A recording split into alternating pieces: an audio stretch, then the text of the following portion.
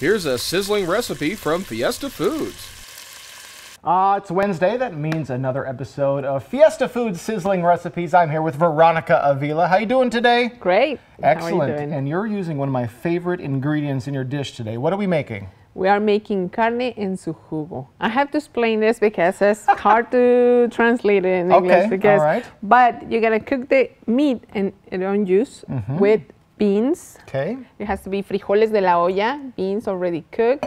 But if you don't want to go through the trouble, you can buy can can. Exactly. Beans you in can a get that, of course, at Fiesta Sure. Foods. Now, Yes. you said frijoles, something, what, what, what kind of beans? They're frijoles de la olla. They're like uh, uh, beans, the whole beans. Okay, all right, whole beans. It looks like they're pintos, all right? Pinto yeah, they're beans. pinto beans. Excellent. Okay, so we have some We're gonna bacon. We're going to cook that with up. the bacon. And we are gonna fry the rest of the ingredients with the bacon grease. With the bacon grease. So we're going to let it We're gonna let it cook, all the way. and get the grease And we can out. also we can also put the um, the garlic. garlic Excellent. because we love the flavor of the garlic.